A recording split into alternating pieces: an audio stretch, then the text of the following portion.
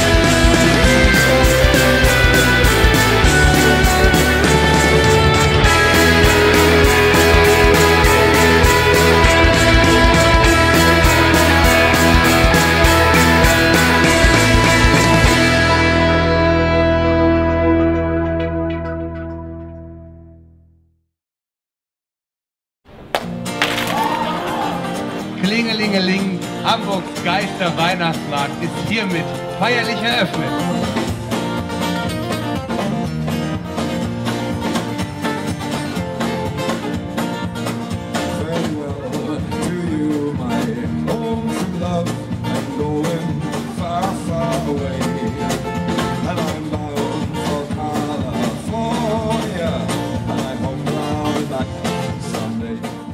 Das Schöne ist am Santa Pauli Weihnachtsmarkt, dass es sich immer weiterentwickelt und immer gemütlicher, schöner wird. Auch der soziale Aspekt ist gut, dass hier äh, Dinge aus Santa Fu verkauft werden.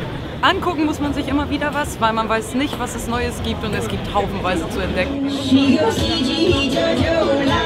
Let's go Geronimo. Says that he's a so la la, let's go Geronimo.